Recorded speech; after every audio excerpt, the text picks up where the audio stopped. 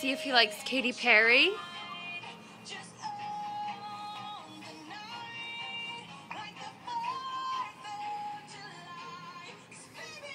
Seems okay. Now, Britney. Like Britney, mate. Seems okay. Let's see if he likes Sarah McLachlan. The sad doggy commercial.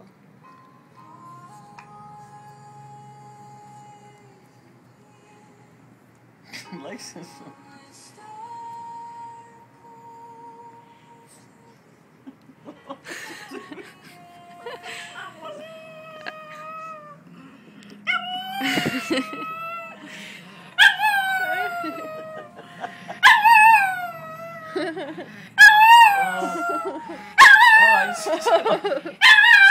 okay. Oh, Okay. He tried to hold me leg. Did he? Yeah. And then